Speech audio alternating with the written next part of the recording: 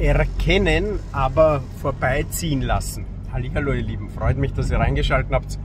Ich habe euch jetzt die letzten paar Tage so ein paar Verrücktheiten gepostet und vieles auch gar nicht mehr, wie zum Beispiel Schiff eines Milliardärs da bei Capri gesunken und jetzt berät das ganze Internet, ja, wie konnte das sein? Am Anfang hieß es gekentert, Schiffe in der Größe, also kentern heißt, dass es sich zur Seite geneigt hat und dann hat es Wasser aufgenommen und dann ist es schlagartig untergegangen.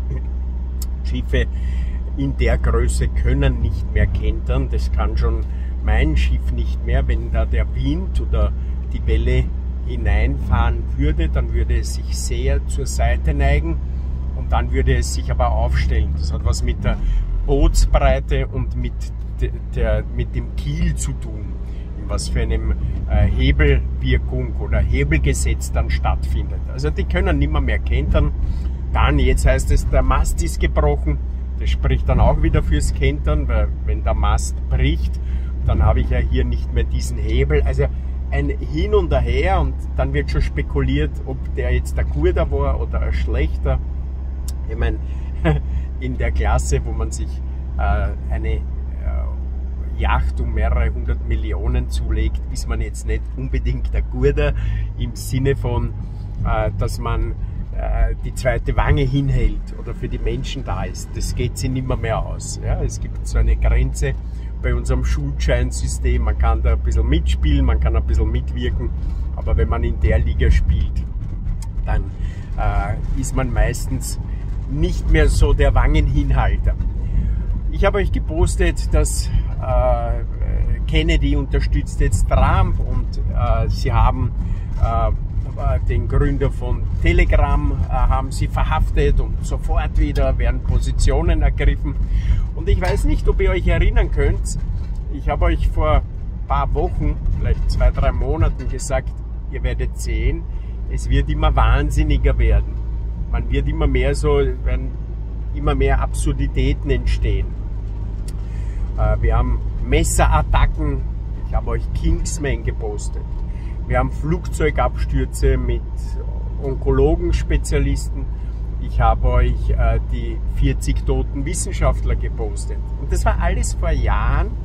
Äh, und das hat alles einen Grund gehabt, weil diese Dinge sich immer mehr zuspitzen.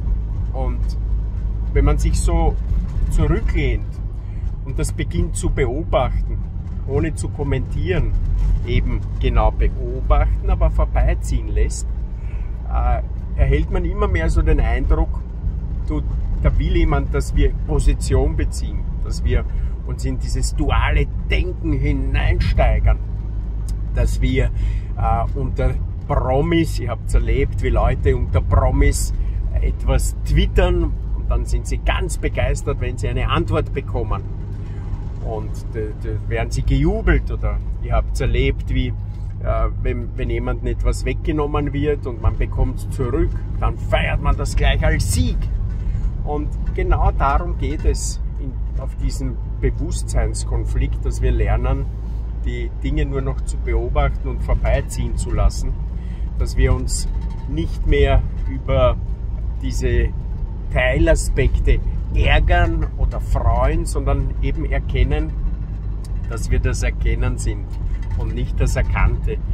Und ich kann euch immer nur sagen, weil viele sagen, ah, ich, ich habe schon genug von dieser ganzen Information ja, und dann schalten sie sich aus. Das ist auch der falsche Weg. Man muss es beobachten, um sich zu üben in der Gelassenheit, in dem, dass man erkennt, du, ich bin ja eigentlich gar nicht dieses ganze Hin und Her. Ich bin ja nicht dieser ganze Wahnsinn. Ich muss auch keine Position beziehen. Äh, zumal ich noch dazu, ich, kann ich die wenigsten Sachen wirklich klären. Wie wollen wir klären, was der Milliardär da für eine Rolle gehabt hat oder nicht gehabt hat? Wie wollen wir klären, ist jetzt Trump, Kennedy und guter oder nicht? Aber wenn wir uns zurücklehnen und denkt an dieses Zitat, der Schnee fällt, jede Schneeflocke auf ihren Platz, dann bekommen wir ein Gefühl. Wir, wir können nicht erklären, wohin die Schneeflocke mathematisch fällt. Aber indem wir uns zurücklehnen und einfach nur still beobachten, erkennen wir, dass es eine Ordnung gibt, die man mathematisch nicht erklären kann, die so groß ist, aber sie ist da. Man kann sie nicht leugnen. Und genau das Gleiche soll jetzt hier bei diesem Konflikt äh, könnten wir lernen, sollen wir lernen. Äh, viele versuchen nach wie vor aus diesem sich positionieren Kapital zu schlagen, dass man dann äh, entweder eine Aktivismusgröße wird oder eine System, äh, eine Systemgröße und so buhlt man dann um die Plätze. Ihr, ihr habt es erlebt, wie Leute fragen, du, wie viele kommen auf die Kundgebung? Und dann ist man entweder dabei oder wenn zu wenig Leute da sind, ist man nicht dabei. Ihr habt es erlebt, wie Leute bei Kundgebungen herumstreiten, wer als erster und wer nach wem reden darf. Also ihr habt gesehen, wie tief dieses anerkannt, angenommen, äh, endlich mal ein Sternchen sein, wie tief das in unserem Bewusstsein drinnen sitzt und all das gilt es aufzulösen. Und ich kann immer wieder nur sagen, geht's aus, macht's diese Ameisenarbeit. Ich mache auch diese Ameisenarbeit jetzt schon, dass ich mich mit ganz normalen Menschen zu einem ganz niedrigen Preis vernetze. Ihnen zeige, du, schau, ich bin mir nicht so gut, ein Häusl zu putzen, ich bin mir nicht so gut zu kochen, bin mir nicht so gut, um in Mist zu gehen und ich bin mir nicht so gut, um einfach hier mit euch auf dem Boot, auf kleinen Raum zu sein. Und dabei aber dann zum Beispiel kritische Gedanken entwickle, dabei aber äh, mit Menschen tief ins Bewusstsein eintauche. Und wir hatten jetzt gerade so die letzte Partie wieder. Es war eine ganz eine lustige Partie. Wir haben viel gefeiert, wir haben Spaß gehabt, aber wir haben auch sehr intensive Momente gehabt, wo ein jeder über sich selber nachdenken konnte. Auch ich, ja, ich nehme mich da gar nicht raus. Auch ich lerne wahnsinnig viel äh, durch euch. Ihr wisst, der Mensch wird Mensch durch Mensch. Deswegen locker bleiben, durchatmen, den ganzen Wahnsinn, der da auf euch zuprasselt, nicht so ernst nehmen. Vor allem jetzt wieder mit dem, mit dem äh, Festnahme von Pavel. Also, wir haben gesehen, wie der Club umgeht mit Leuten, die immer so, die nicht nach der Pfeife tanzen.